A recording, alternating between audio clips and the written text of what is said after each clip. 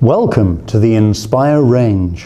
The Inspire demonstration transformer provides illustration and investigation of the transformer principle, electromagnetic induction and eddy currents. The demonstration transformer set comprises the base with U-core, I-core and clamp,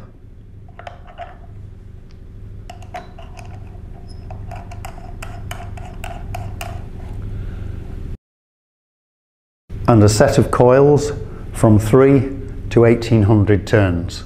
Available separately, the main substitute coils at 100 turns and 300 turns are required for the induction and motor experiments. The Power Pro transformer power supply is also required and available separately. The transformer power supply has special connectors on the 25 volt AC output, making it impossible to connect that voltage to standard coils. The other AC outputs are limited to 2 volts and 4 volts AC, so that no combination of coils can produce a dangerous voltage.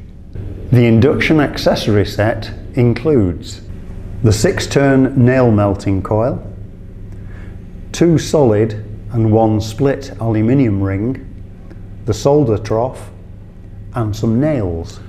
The motor accessory set includes pole pieces, aluminium quadrants and disc, plus supports and pivots. Both accessory kits are available separately.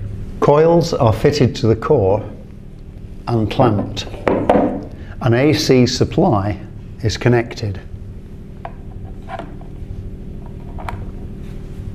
The ratio of turns in this case is 300 to 600. We can monitor the input and output voltage using two AC voltmeters.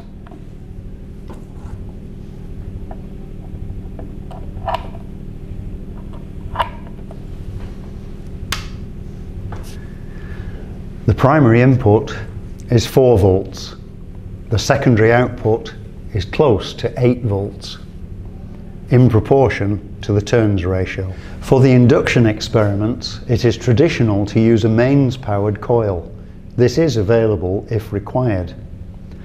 The substitute mains coil has wings which provide a high level safety, preventing the fitting of an inappropriate coil which might generate dangerous voltages. The 100 turn substitute coil is used for Thomson's jumping ring. The coil is fitted to the U core and the I core stands on top.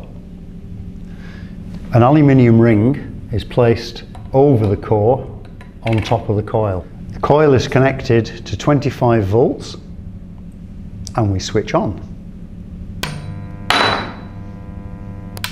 Repeating with the split ring illustrates the need for a complete ring.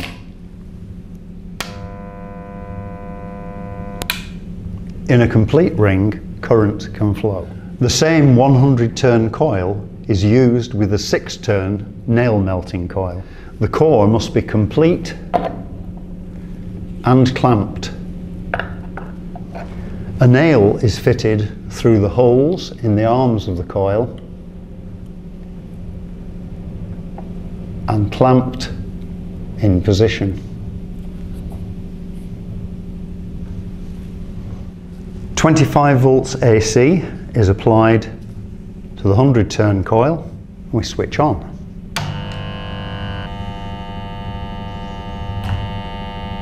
In this experiment, two coils are connected in series and supplied with 8 volts DC.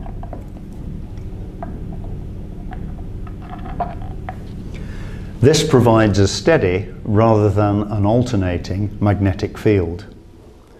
The core is adapted using pole pieces, a support rod and pivot. The aluminium quadrant plate is fitted to the pivot When the supply is switched on, displacing and releasing the quadrant illustrates the phenomenon of eddy current braking. Replace the plain qu quadrant with the slotted quadrant.